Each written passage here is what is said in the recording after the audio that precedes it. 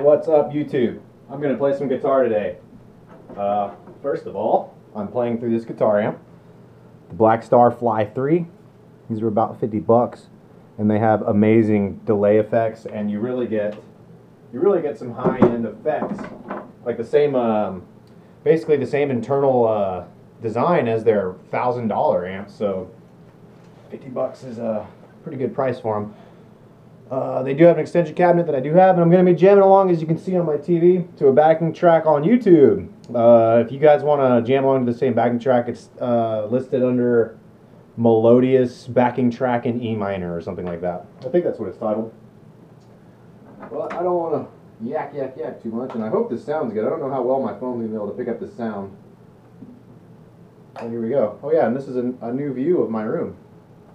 I Don't think I've ever filmed anything from this angle. Yes, just to show you real quick the delay.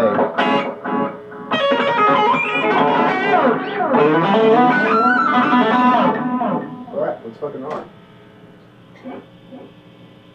It's my band.